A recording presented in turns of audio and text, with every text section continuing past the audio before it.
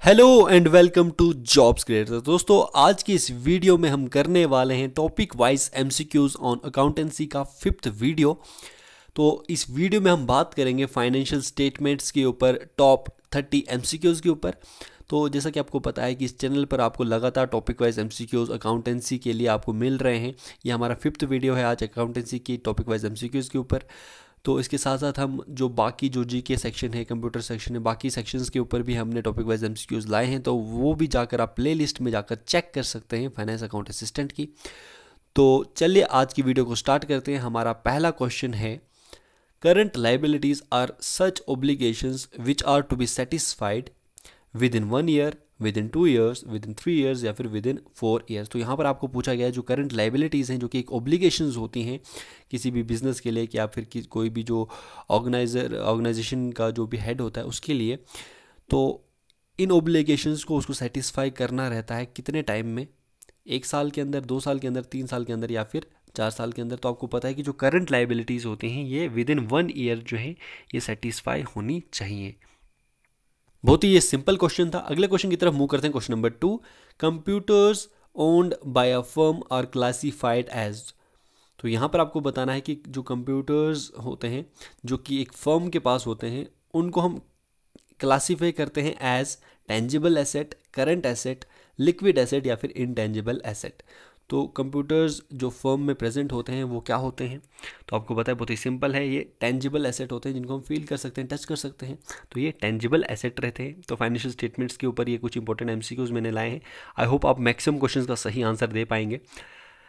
इसमें कोई numericals involve नहीं है। अगले सेक्शन जब अगली वीडियो आएगी इसकी तो उसके ऊपर न्यूमेरिकल्स भी हम इन्वॉल्व करेंगे।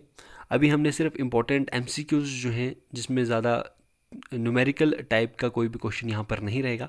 सिंपल कॉन्सेप्ट बेस्ड क्वेश्चन यहाँ पर पूछे जाएँगे। तो चलिए अगले क्वेश्चन की तरफ़ मूव करते हैं। दोस्तों क्वेश्चन नंबर थ्री हमारे स्क्रीन के ऊपर आ चुका है। Loss on sale of an old car is debited to which account profit and loss account car account depreciation account या फिर ट्रेडिंग अकाउंट आपको पता है कि यहाँ पर जो trading and profit and loss account होता है ये जनरल प्रिपेयर किया जाता है। ट्रेडिंग अकाउंट में आपको पता है डेबिट साइड और क्रेडिट साइड दोनों होती हैं। डेबिट साइड में एक्सपेंसेस और क्रेडिट साइड में यहाँ पर इनकम्स यहाँ पर जो भी इनकम्स होती हैं वो वहाँ पर दिखाई जाती हैं। पर यहाँ पर जो पूछा गया है कि लॉस लॉस हुई है यहाँ पर on sale of old car पुरानी कार को बेचा गया है। पर उसमें जो जब सेल हुई है तो उसमें लॉस हुआ है। तो उसको हम डेबिट कहाँ करेंगे? डेबिट यानी कि एक्सपेंसेस अकाउंट में तो आएगा ये एक्सपेंसेस के तौर पे आएगा, पर किस अकाउंट में उसको हम करते हैं? प्रॉफिट एंड लॉस अकाउंट में कार अकाउंट में डेप्रिसिएशन अकाउंट में या फिर ट्रेडिंग अकाउंट में? तो दोस्तों, इसको हम डेबिट करेंगे प्रॉफिट एंड लॉस अकाउंट में। क्यों? यहाँ पर, क्योंकि ये एक इनडायरेक्ट एक्सपेंस है। ट्रेडिंग अकाउंट में सारे जो हैं डायरेक्ट एक्सपेंसेस को दिखाया जाता है, पर जो यहाँ पर प्रॉफिट एंड लॉस अकाउंट है, यहाँ पर सारे इनडायरेक्ट एक्सपेंसेस शो किए जाते हैं तो इसलिए यहाँ पर ये प्रॉफिट एंड लॉस अकाउंट में डेबिट होगा। अगले क्वेश्चन की तरफ़ मूव करते हैं। Sales are equal to sales किसके बराबर है यहाँ पर, जो भी यहाँ पर ऑप्शन दिए गए cost of goods sold plus gross profit cost of goods sold minus gross profit gross profit minus cost of goods sold या फिर परचेजेस प्लस ग्रॉस प्रॉफिट तो आपको इसका आंसर देना बहुत ही सिंपल क्वेश्चन है। दोस्तों, आपको ये पता है कि जो सेल्स होती हैं ये होते हैं cost of good sold plus gross profit तो यहाँ से हम सेल्स निकालते हैं क्योंकि कॉस्ट ऑफ़ गुड्स सोल्ड जो होते हैं, वो होते हैं सेल्स माइनस ग्रॉस प्रॉफिट तो यहाँ से इसका फॉर्मूला बन जाता है सेल्स इक्वल हो जाते हैं cost of goods sold plus gross profit के बराबर ये होता है। ये ऑप्शन इसका सही आंसर है। बहुत ही ये सिंपल क्वेश्चन है। अगले क्वेश्चन की तरफ़ मूव करते हैं। Question number five income tax paid by a sole trader is shown income tax जो सोल ट्रेडर पे करता है, वो कहाँ पे शो होती है? On the debit side of trading account on the debit side of profit and loss account as deduction from capital in the balance sheet या फिर as addition to capital in the balance sheet तो income tax जो भी trader pay करता है, वो कहाँ पे शोन होती है? आपको पता है कि जो भी इनकम टैक्स पे होगा, वो कैपिटल से ही पे होगा, जो उसका कैपिटल होगा। पर जब वो पे होगा तो वो डिड्यूस हो जाएगा, उससे डिडक्ट हो जाएगा कैपिटल से। और हमेशा कैपिटल बैलेंस शीट में शो होती है तो इस वजह से as deduction from capital in the balance sheet C option इसका सही आंसर है। Question number six goodwill is a goodwill क्या है? Fictitious asset tangible asset intangible asset या फिर करंट एसेट बहुत ही सिंपल आंसर है इसका। गुडविल एक इनटेंजिबल एसेट है, क्योंकि इसको महसूस नहीं कर सकते हैं। ये रेपुटेशन होती है बिज़नेस की, जिससे वो एक्स्ट्रा इनकम वो अर्न करता है। क्वेश्चन नंबर सेवन की तरफ़ मूव करते हैं। Return inwards in the trial balance is deducted from दोस्तों, यहाँ पर आपको बताना है कि जब ट्रायल बैलेंस प्रिपेयर किया जाता है, उसके बाद यहाँ पर बताया गया है कि जब जो रिटर्न इनवर्ड्स होती हैं, जो कि रिटर्न हो चुकी होती हैं बिज़नेस में इन्वर्ट वो रिटर्न होती हैं, वो कहाँ से डिडक्ट होती हैं? परचेजेस से, सेल्स से, रिटर्न आउटवर्ड से या फिर ग्रॉस प्रॉफिट से? तो कहाँ से इसको डिडक्ट किया जाता है? रिटर्न इनवर्ट्स जो होती हैं, ट्रायल बैलेंस में। यहाँ पर ये हमेशा से जो सेल्स रहती हैं, जो भी हम सेल्स करते हैं, सेल्स में जो भी हमें वापस चीज़ें आती हैं, रिटर्न इन्वर्ट्स जो होते हैं, उनको सेल्स से ही इनको डिडक्ट किया जाता है इन द ट्रायल बैलेंस। यहाँ पर बाद में शो किया जाता है इनको। क्वेश्चन नंबर एट में आपको बताना है फाइनेंशियल स्टेटमेंट्स में क्या क्या चीज़ें आती हैं? Trial balance trading and profit and loss account balance sheet या फिर trading and profit and loss account and balance sheet तो आपको पता है कि जो फाइनेंशियल स्टेटमेंट्स में इसमें सारी चीज़ें आती हैं trading and profit and loss account भी आता है और बैलेंस शीट भी आती है। ये फाइनेंशियल पोजीशन और फाइनेंशियल जो परफॉर्मेंस होती है किसी भी बिज़नेस की, वो ये शो करते हैं सब। क्वेश्चन नंबर नाइन में आपको बताना है कि कौन से एक्सपेंसेस ट्रेडिंग अकाउंट में शो होते हैं? तो बहुत ही सिंपल क्वेश्चन है ये। डायरेक्ट एक्सपेंसेस शो होते हैं इनडायरेक्ट एक्सपेंसेस शो होते हैं ओपनिंग एक्सपेंसेस या फिर डायरेक्ट एंड इनडायरेक्ट एक्सपेंसेस तो अभी मैंने आपको बताया था कि जो ट्रेडिंग अकाउंट होता है, वहाँ पर जो डेबिट साइड है डेबिट साइड में एक्सपेंसेस शो होते हैं। और यहाँ पर जो भी डायरेक्ट एक्सपेंसेस होते हैं, वो ही ट्रेडिंग अकाउंट में ये शो होते हैं। ये यहाँ पर शो किए जाते हैं और जो प्रॉफिट एंड लॉस अकाउंट है, उसमें सारे इनडायरेक्ट एक्सपेंसेस शो किए जाते हैं। Question number ten which statement shows financial position of the business कौन सा स्टेटमेंट इनमें से फाइनेंशियल पोजीशन है बिज़नेस की, वो शो करता है? Trading account profit and loss account balance sheet या फिर ट्रायल बैलेंस तो फाइनेंशियल पोजीशन जो होती है बिज़नेस की, वो हमेशा बैलेंस शीट जो हम बनाते हैं। एसेट्स और लाइबिलिटीज़ का उनको कंपेयर करके तो वहाँ से जो फाइनेंशियल पोजीशन होती है बिज़नेस की, वो हमें पता चलती है। तो आई होप आपने टेन में से मैक्सिमम क्वेश्चंस जो हैं अभी तक सॉल्व किए होंगे। यहाँ पर मैं आपको बता दूँ कि पी अगर आपको ये चाहिए तो आप टेलीग्राम चैनल ज्वाइन कर सकते हैं। टेलीग्राम चैनल का लिंक आपको डिस्क्रिप्शन में मिल जाएगा। डिस्क्रिप्शन में लिंक आ, मिल जाएगा वहाँ से आप ज्वाइन करें टेलीग्राम चैनल को और वहाँ पर लगातार आपको जो भी वीडियोस अपलोड होती हैं उनकी आ, सब पीडीएफ वहाँ पर आपको मिल जाएँगी। तो चलिए अगले क्वेश्चन की तरफ़। अगले क्वेश्चन में आपको पूछा गया है कि इनमें से कौन सी इक्वेशन करेक्ट है? Operating profit equal to net profit minus non operating expenses minus non operating income इसी तरीके से बी ऑप्शन में यहाँ पर बताया गया है operating profit equal to net profit plus non operating expenses plus non operating income C option में बताया गया है operating profit equal to net profit plus non operating expenses minus non operating income और डी ऑप्शन हमारे पास है operating profit equal to net profit minus non operating expenses minus non operating income सब मैंने पढ़ लिया है। तो अभी तक आपने आंसर चुन लिया होगा, क्योंकि आपको ये पता होगा कि नेट प्रॉफिट जो होता है हमारा, वो हमेशा ऑपरेटिंग प्रॉफिट जो भी ऑपरेटिंग करने के लिए जो भी हम प्रॉफिट अर्न करते हैं प्लस उसमें हम नॉन ऑपरेटिंग इनकम भी जोड़ देते हैं। उस, उन सबको जोड़कर ऑपरेटिंग प्रॉफिट और नॉन ऑपरेटिंग इनकम्स को जोड़कर उसमें से हमने माइनस करना होता है, जो भी नॉन ऑपरेटिंग एक्सपेंसेस लगते हैं हमें। उससे हमारा नेट प्रॉफिट आ जाता है। तो यहाँ पर इसको अगर रीअरेंज करते हैं हम तो हमारे पास आ जाएगा operating profit equal to net profit plus non operating expenses minus non operating income यानी कि सी ऑप्शन यहाँ पर हमारा सही आंसर बन जाएगा। अगले क्वेश्चन की तरफ़ मूव करते हैं। Carriage outwards is shown in जो कैरेज आउटवर्ड है, वो कहाँ पे शोन होती है? ट्रेडिंग अकाउंट में प्रॉफिट एंड लॉस अकाउंट में बैलेंस शीट में, या फिर आइदर ए और बी दोस्तों कैरेज आउटवर्ड आपको पता है कि carriage outward indirect expense होता है तो यहाँ पर ये हमेशा प्रॉफिट एंड लॉस अकाउंट में ही शो होगा, यानी कि बी ऑप्शन ये सही आंसर है इसका। क्वेश्चन नंबर थर्टीन की तरफ़ मूव करते हैं। Expenditure incurred on a fixed asset which increases the earning capacity is accounted as दोस्तों, यहाँ पर आपको पूछा गया है, जो एक्सपेंडिचर हम करते हैं किसी फिक्स्ड एसेट के ऊपर, जिससे उसकी यहाँ पर अर्निंग कैपेसिटी जो होती है बिज़नेस की, वो बढ़ जाती है। उस एक्सपेंडिचर को हम क्या कहते हैं? Capital expenditure revenue expenditure deferred revenue expenditure या फिर जनरल एक्सपेंडिचर तो यहाँ पर इसका आंसर आपको देना है, जल्दी से आप इसका आंसर बता देंगे। सही आंसर है कैपिटल एक्सपेंडिचर इसको हम कहते हैं, जो भी हम फिक्स्ड एसेट को खरीदने के लिए जो भी एक्सपेंडिचर हम करते हैं, जिससे उसकी अर्निंग जो कैपेसिटी है, वो बढ़ जाती है, उसको हम कहते हैं कैपिटल एक्सपेंडिचर अगले क्वेश्चन की तरफ़ closing stock shown inside the trial balance is shown in closing stock जो कि ट्रायल बैलेंस में शो किया जाता है, वो कहाँ पे और शो किया जाता है? ट्रेडिंग अकाउंट में इसको शो किया जाता है प्रॉफिट एंड लॉस अकाउंट में बैलेंस शीट में या फिर नन ऑफ़ तो यहाँ पर आपको पता है कि ट्रेडिंग अकाउंट और प्रॉफिट एंड लॉस अकाउंट में इसको शो नहीं किया जाता क्योंकि इसमें कोई इनकम और लॉस नहीं है। पर यहाँ पर जो बैलेंस शीट है, वहाँ पर हम क्लोजिंग स्टॉक को शो करते हैं। सी ऑप्शन इसका सही आंसर है। अगले क्वेश्चन में आपको बताना है कि इनमें से कौन सा बैलेंस शीट में शो नहीं होता है।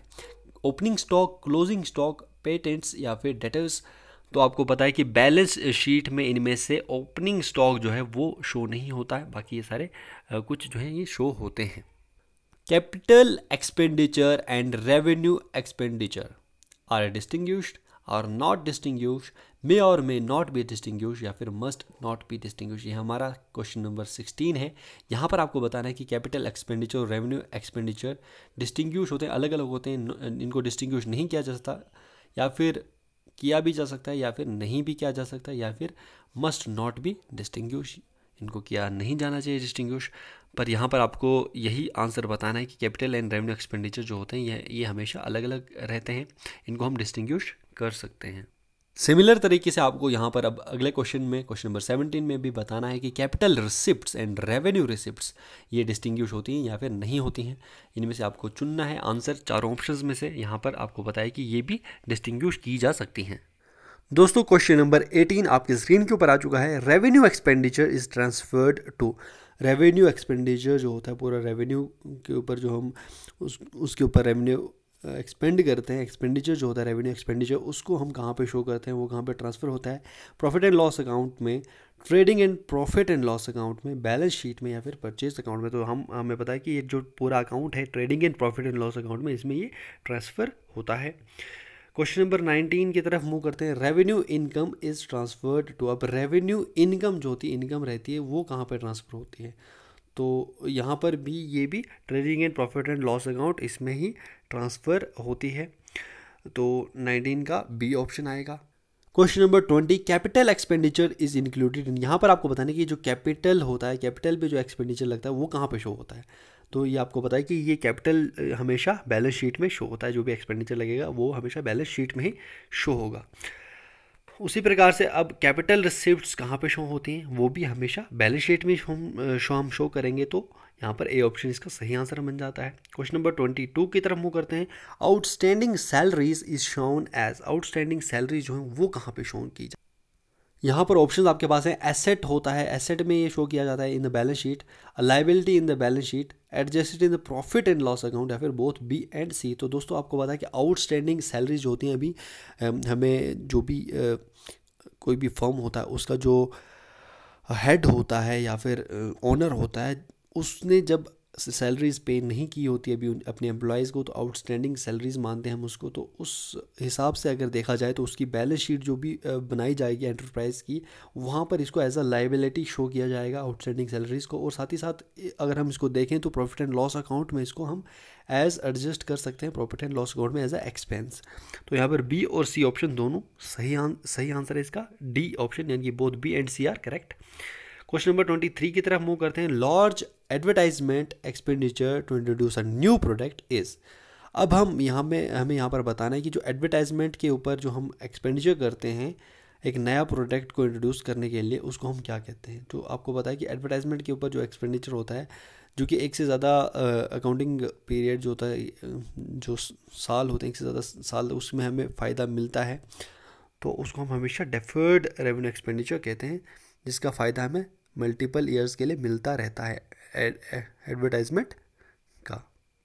Question number twenty four purchases of machinery for production is जो भी मशीनरी का हम परचेज करते हैं प्रोडक्शन के लिए, उसको हम क्या कहते हैं? Revenue expenditure capital expenditure deferred revenue expenditure फिर नन ऑफ़ दीज तो जो भी मशीनरी का हम परचेज करते हैं प्रोडक्शन के लिए, जो भी परचेज होगा तो हमेशा वो कैपिटल एक्सपेंडिचर किया जाएगा, कहा जाएगा, क्योंकि कैपिटल से ये हमेशा एक्सपेंड होगा।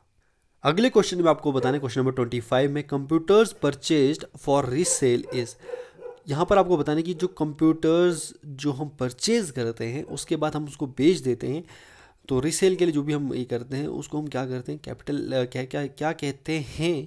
कैपिटल एक्सपेंडिचर कहते हैं या फिर revenue expenditure deferred revenue expenditure या फिर नाना दीज आपको पता है कि जो कम, जो भी कंप्यूटर्स हम परचेज करते हैं रीसेल के लिए, उसको हम कहते हैं रेवेन्यू एक्सपेंडिचर क्योंकि रेवेन्यू इससे अर्न होता है तो इसमें हम कहते हैं रेवेन्यू अर्न के लिए revenue expenditure Question number 26 Insurance premium paid to insure the machinery at the time of its purchase is insurance premium paid. जो इंश्योरेंस का प्रीमियम हम पे करते हैं, जब भी मशीनरी को हम इंश्योर करते हैं at the time of purchase purchase हम जब हम किसी भी मशीनरी की परचेज करके उसको इंश्योरेंस करते हैं तो इंश्योरेंस प्रीमियम जो पे होता है, वो कहाँ से होता है? रेवेन्यू एक्सपेंडिचर कैपिटल एक्सपेंडिचर होता है या फिर डेफेट रेवेन्यू एक्सपेंडिचर होता है या फिर नन ऑफ़ दीज तो यहाँ पर आपको पता है कि ये भी कैपिटल एक्सपेंडिचर ही रहेगा, कैपिटल में से ही ये जाएगा। Question number twenty seven expenses on overhauling a second hand machine purchase is यहाँ पर भी आपको बताना है कि जो सेकेंड हैंड मशीन जो हम परचेज करते हैं, उसमें जो एक्सपेंसेस लगते हैं, वो कहाँ से आते हैं? तो वो भी हमारा हमेशा कैपिटल एक्सपेंडिचर ही रहता है। अगले क्वेश्चन में आपको बताना है balance sheet is a balance sheet क्या है? तो इन चारों ऑप्शंस को आप आराम से पढ़िए वीडियो को पॉज कीजिए। यहाँ पर मैं आपको बता देता हूँ बैलेंस शीट क्या है। यहाँ पर बैलेंस शीट में लिस्ट ऑफ़ एसेट्स एसेट्स की भी लिस्ट है लाइबिलिटीज़ की भी और कैपिटल जो है बिज़नेस का एट अ सर्टन डेट वो यहाँ पर बैलेंस शीट में शो किया जाता है। यानी कि डी ऑप्शन इसका सही आंसर है। क्वेश्चन नंबर ट्वेंटी नाइन की तरफ़ मूव करते हैं। Which of the following is not the part of financial statements इनमें से कौन सा फाइनेंशियल स्टेटमेंट का पार्ट नहीं है? Trial balance trading account profit and loss account या फिर बैलेंस शीट तो आपको बताया कि ट्रायल बैलेंस जो है, ये फाइनेंशियल स्टेटमेंट्स में नहीं आता। फाइनेंशियल स्टेटमेंट्स में trading and profit and loss account और बैलेंस शीट आती है। आखिरी क्वेश्चन हमारे सेशन का आ चुका है। Question number thirty salaries and wages account is shown in salaries और वेजेस अकाउंट कहाँ पर शोन किए जाते हैं? ट्रेडिंग अकाउंट में प्रॉफिट एंड लॉस अकाउंट में बैलेंस शीट में या फिर trading account and balance sheet में। तो आपको पता है कि जो सैलरीज होती हैं और वेजेस जो होती हैं, हमेशा ये हमारे इंडायरेक्ट एक्सपेंसेस रहते हैं तो ये हमारे प्रॉफिट एंड लॉस अकाउंट में शो किए जाते हैं। तो आई होप ये वीडियो आपको पसंद आई होगी। बहुत ही सिंपल क्वेश्चन थे ये। कंसेप्चुअल बेस्ड ये क्वेश्चन थे। अगले जो वीडियो हमारी आएँगी, उसमें हम न्यूमेरिकल्स भी लाएँगे। ये जो टॉपिक वाइज एम हमारी चल रहे हैं अकाउंटेंसी के ऊपर, इसमें हम न्यूमेरिकल्स जो बनेंगे इस इस टॉपिक के ऊपर, वो न्यूमेरिकल्स भी आपको मिलेंगे। साथ ही साथ आपको जो नेक्स्ट जो टॉपिक्स हैं, उनके ऊपर भी टॉपिक वाइज एम आपको मिलेंगी। ये हमारी फिफ्थ वीडियो थी, जो की थी फाइनेंशियल स्टेटमेंट्स के ऊपर बेस्ड अगली वीडियो जो है हमारी इसी प्रकार से आएगी, जो कि हमारी पार्टनरशिप अकाउंट्स का जो हमारा अगला टॉपिक है, उसके ऊपर आ सकती है, जिसमें हम न्यूमेरिकल्स भी इन्वॉल्व करेंगे। तो आई होप आपको ये वीडियो पसंद आई होगी। अगर वीडियो पसंद आई है तो वीडियो को लाइक कीजिए और चैनल को आप सब्सक्राइब कर लीजिए। अगर पीडीएफ आपको चाहिए तो टेलीग्राम चैनल को आप ज्वाइन कर सकते हैं और वहाँ से आपको पीडीएफ जो है, हर एक एम जो सेशंस यहाँ पर होते हैं, उसकी आपको मिल जाएगी।